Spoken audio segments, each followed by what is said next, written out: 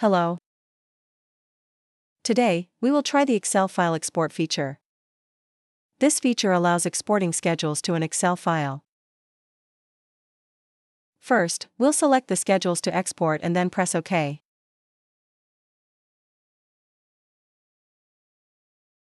Wait for the Excel file to open.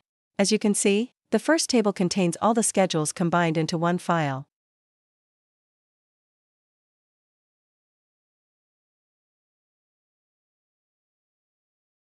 Images can also be exported if there are pictures in the schedule. Each tab corresponds to a schedule in Revit.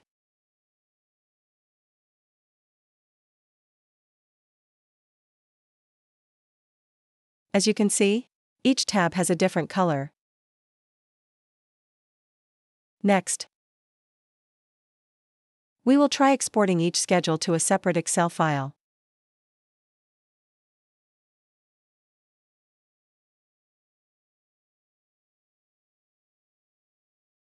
Each table has been converted into an Excel file.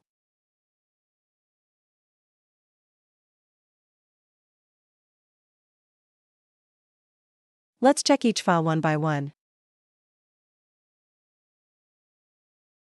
The output files look good. Next, we're going to test the settings. I'll try a few features here. I'll change the border style and color settings.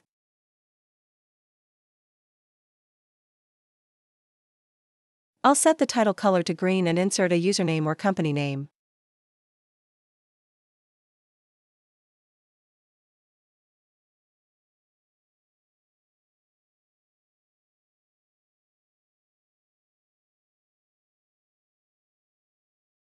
Waiting for the results. As you can see, the table borders have changed, along with the title and tab colors.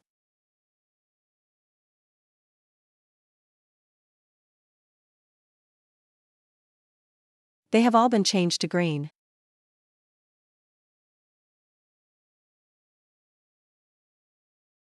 Next, we'll try the Quick Export feature.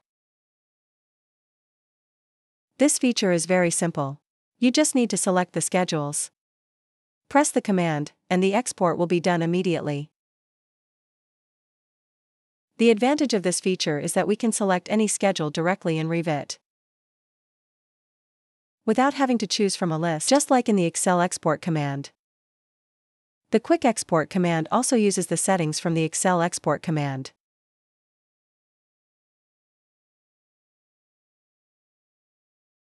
Let's try again.